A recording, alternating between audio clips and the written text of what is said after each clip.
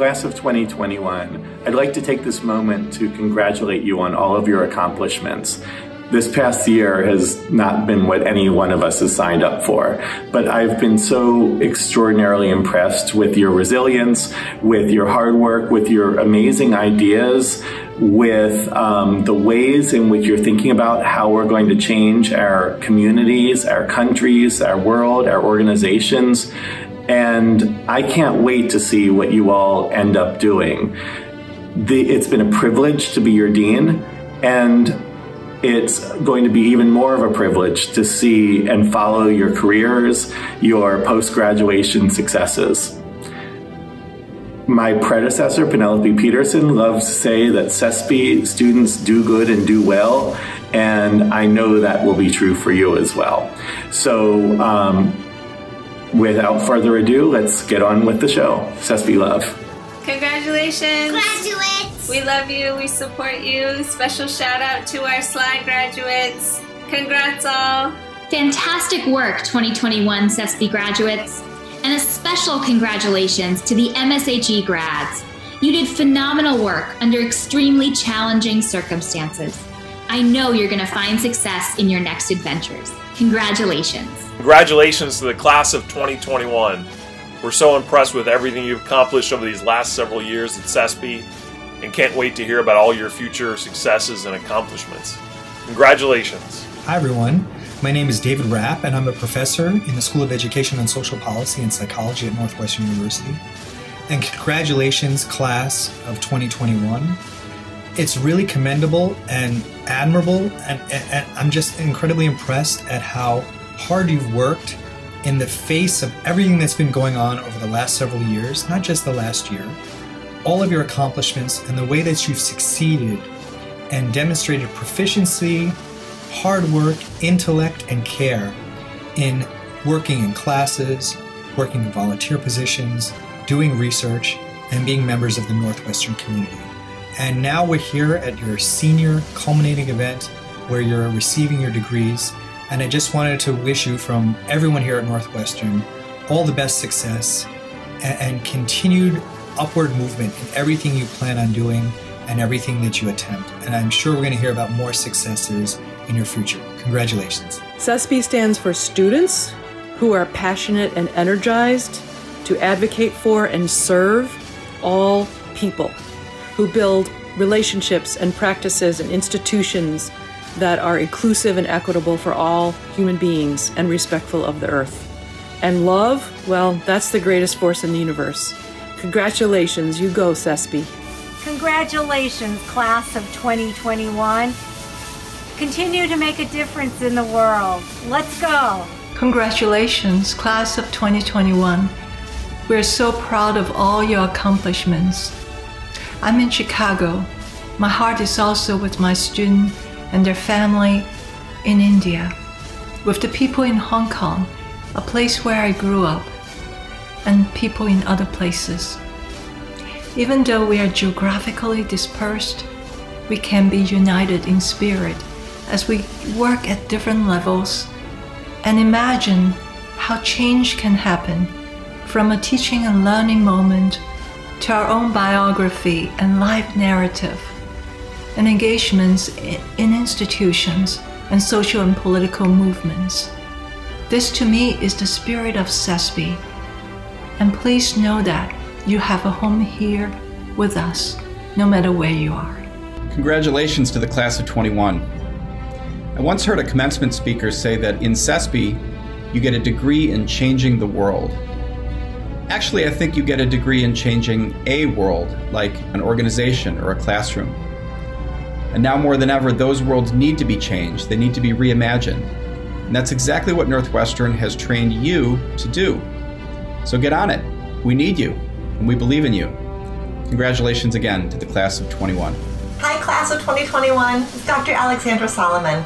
First of all, congratulations. I'm so proud of each and every one of you. I mean, who the heck pulls off a graduation like this at a time like this in the middle of a global pandemic? Each and every one of you is amazing. Second of all, I want to wish you so much luck and so much love in each and every one of your next steps going forward. I invite you to stay curious. I invite you to stay strong. And I invite you, most of all, to stay in touch. Keep letting us know what's going on in your world so that we can continue to shine on you and celebrate you wherever these next steps take you. Best of luck. Be well. Hello, SESP graduates. I'm so proud of you. You guys have done an incredible thing. I'm going to miss you. I'm going to leave you with some of my favorite words of wisdom. As you go through life, make this your goal. Keep your eye on the donut, not on the whole. Congratulations. I hope to see you at the convocation. Bye. Congratulations, SESP graduates. We are so proud of your compassion and your resilience and can't wait to see what you do next. Don't be a stranger. Go Cats. Greetings, SESP class of 2021. This is Cheryl Judice, practicum instructor, and I'm here this evening to wish you all the best as you complete your college careers and move forward in your lives. Congratulations. Congratulations, 2021 SESP grads. While you're venturing forth to your new exciting destinations, please don't forget to stop and smell the flowers and to look up at the stars. Congratulations, graduates. Just wanted to say how proud we are of all of you. We watched you grow and develop during your time with us, and we can't wait to see what you do next. We love SESP! Kiss today goodbye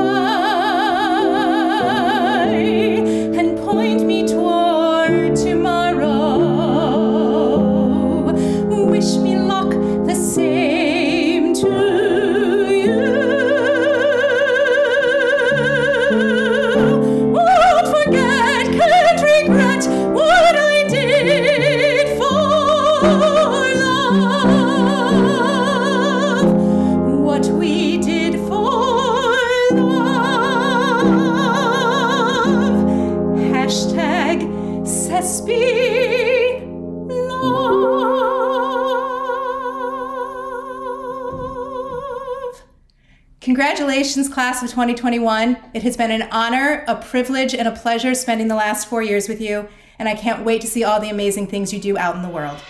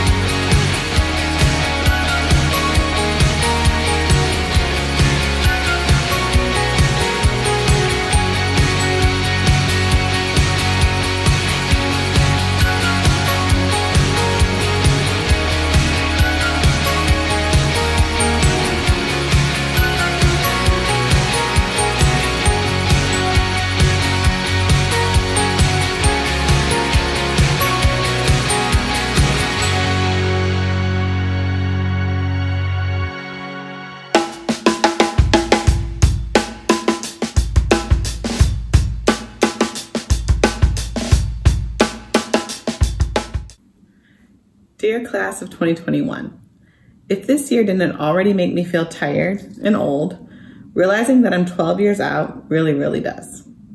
Since my time in SESP, I've spent my time in the public affairs sector. I participated in the Coro Fellowship Program in St. Louis. I was a labor organizer. I joined President Obama's 2012 campaign as the state director for Missouri. And then I was brought back to Chicago, working for Organizing for Action. After that, I started a voter registration nonprofit here in Chicago called Every Vote Counts. And then I ran Treasurer Kurt Summers' campaign for City Treasurer of Chicago. After Kurt won, I joined him in City Hall as a senior advisor. And after a few very intense, very intense moments in City Hall, I decided to start my own public affairs firm called APS and Associates. My first two clients were Governor J.B. Pritzker and the Chicago Black Alderman. Um, and since then, my firm has grown. We now have four staff and we have over 12 clients, ranging from the Obama Foundation to State's Attorney Kim Foxx to another Northwestern alum, Speaker Chris Welch. I really believe SESP prepared me for this awesome journey um, by teaching me to trust my gut, take, take a leap, and I encourage you all to do the same. It's really an honor to be here to speak with you today. I know this has been a difficult year. We have lost loved ones, we've witnessed a civil rights movement, and we are all completely zoomed out. I'm just going to ask you for a few more moments of your time to share that I am proud of you, and I cannot wait to see what you do. I don't know about you, but this year has put so much into perspective for me. It has challenged me to think about what matters to me most, who matters to me most, and not to take my immense privilege for granted. Being here, having a Northwestern degree, and being able to share my purple pride with you is a true privilege. I want to challenge you to think about your awesome privilege and to think about what you can do next to be happy and to make an impact. These things are not always naturally aligned. And if this year has taught me anything, it was a reminder to take care of myself in order to take care of others. You're going to be joining a powerful, proud group of alumni that are all over the world and they're changing it. So lean on us. We are here to help. Now, no graduation speech would be complete without a profound quote, so I'll leave you with this. The late great Biggie Smalls once said, climb the ladder to success, escalator style. Thank you all and congratulations. Hello, SESP class of 2021. I'm Cecilia Rouse, Chair of President Biden's Council of Economic Advisors. I want to congratulate you on completing your course of study, as well as all of your achievements during your time at Northwestern. I hope you've used your time there to develop relationships with peers and professors, perfect the art of late night studying, and gain confidence in your abilities. This last year has surely tested you. The pandemic introduced you to Zoom learning, social distancing, and other means of staying safe that are not really what higher educational experience is all about. Many of you likely had family and friends affected by the virus, falling ill, or losing a job. But you rose to the occasion, and while the last year was not the ideal educational experience, I hope it left you with a better understanding of how to think about education and social policy, and indeed all issues, in a broader ethical framework. You have acquired a host of skills that will serve you in whatever field you choose a capacity to think analytically and critically, deliberate collectively, balance competing interests, communicate effectively, and cultivate leadership. The need for talented people to serve the public good has never been greater. We live in tumultuous times. The last 40 years have seen persistent growth in inequality with dire consequences for our economic, political, and social fabric. Our education system is failing too many young people. Political divisiveness has pulled people to their respective corners, unwilling to talk through their differences. The killing of George Floyd and others exposed ongoing racial discrimination in this country as people took to the streets, amid a pandemic, to demand justice. The COVID 19 crisis has exacerbated long-standing disparities in our public health system. And while it's promising to see the rollout of vaccinations, it's not enough to return to pre pandemic normal. In this transformative time, we have to reimagine a better world, and you're now equipped with the tools to create meaningful change. As passionate and compassionate graduates in policy and education, You have an obligation to apply your skills to combat solutions to the most vexing social issues in our communities, in our nation, and indeed in our world. Wherever your next step takes you, it is my hope that you'll take SESP's spirit of service with you. And again, congratulations and good luck, 2021 graduates. Congratulations, Northwestern School of Education and Social Policy, for being class of 2021. You made it, not just through college, but just the last year alone gives you an extra dose of congratulations. I'm so glad to see you all have this accomplishment. I know it probably feels really good. So I wanted to take a couple of minutes to give you a few words. Um, as somebody who has dedicated my life to movement, to social change, um, I often hear from young people in your position about what they should do now, what life should look like after college. And I have I have about four points I want to I want to share with you in the next couple of minutes, just about what life could look like post college. Some of you might have been activists all through college and really been involved in a lot of things. And I'll tell you that I had an elder say to me, "Don't ever let anybody call you a college activist because that limits you. If this is something that you're going to do with your life, then this is who you are." And so I would encourage you, whether you were an activist in college, whether you're just interested in social change, or you're just a movement person, I would encourage you to stay committed to learning. We can never, we don't know what we don't know. And it really takes um, strategic strategy and strategic planning and thoughtfulness um, and analysis to keep expanding your analysis to be effective in social change. And so stay committed to learning even after college. Read and listen and explore as much as you can. I also want to say be a joiner. A lot of people say don't be a joiner or I'm not a joiner, but change happens in community, in reality. It doesn't happen by a singular person or a singular vis- a singular vision. So don't be afraid to be a joiner. Find like minded people who share your ideology and your analysis and your perspective about what change looks like. And join organizations, join groups. You know, you may even want to start one. But I think it's okay to be a joiner when we're talking about um, pushing forward agendas that are going to change the course of history, change our lives. And stay open. You might have been completely committed to environmental justice the whole time you were in college. You might have been completely invested in ending gun violence. That might change as you grow and you deepen your analysis, as your as your life changes, your passions change, your interests change. It doesn't mean you're a hypocrite. It doesn't mean you flip flop all over everywhere. I've done work across the spectrum of social justice, and I landed where I landed doing work around sexual violence and centering black and brown girls after exploring so many other areas and guess what? I'm still committed to those areas too. This is just my focus. And lastly, I would say if you're not a movement person, you're not an activist, you know, this is not the air, the direction you want to go in. We still need you to do what you can. You don't have to be on the front lines. You don't have to be leading the march or making the speeches in order to affect change. We have to live in this world together. And so we need everybody to do whatever part they can play. You can read a book, you can listen to a podcast, you expand your mind, stay connected to what's happening, stay connected to what's happening around you because even if you're not fighting for it or fighting against it, it's going to affect your life. So stay stay open, be a joiner, stay committed to learning and do what you can because it's going to take all of us to move the needle just a little bit to make sure that we have the life for ourselves and for our children for and our children's children for years and years to come. It's going to take all of us collectively to make that happen.